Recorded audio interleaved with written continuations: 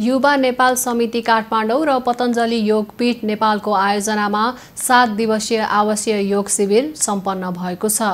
सनातन संस्कृति र संस्कार र स्वाभिमान एवं युवा अनुशासन सहित स्वस्थ मन र शरीरको लागि शिविर आयोजना गरिएको युवा नेपाल समिति काठमाडौँका प्रमुख कुमार श्रेष्ठले जानकारी दिनुभयो। काठमाडौँ स्थित मण्डीघटारमा चैत बाइस गतेदेखि सुरु भएको शिविरमा साध्वी देव विजयाश्री आचार्य सत्यमजी र आचार्य अभिलाषाजीले प्रशिक्षण दिनुभएको थियो। शिविरको समापन समारोहमा बोल्दै नेपाल स्थित भारतीय राजदूता दूतावास कार्यालयका उपप्रमुख प्रसन्न श्रीवास्तवले नेपाल स्थित पतञ्जलि योगपीठले समाजको स्वस्थ सुधारका लागि निरन्तर काम गरिरहेको र यो काम निकै सराहनीय भएको बताउनुभयो।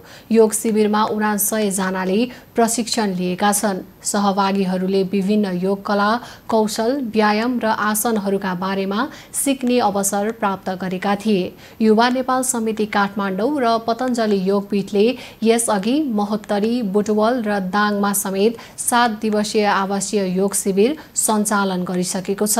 समितिले भोलिदेखि पोखरामा शिविर सञ्चालन गर्ने जानकारी दिएको छ।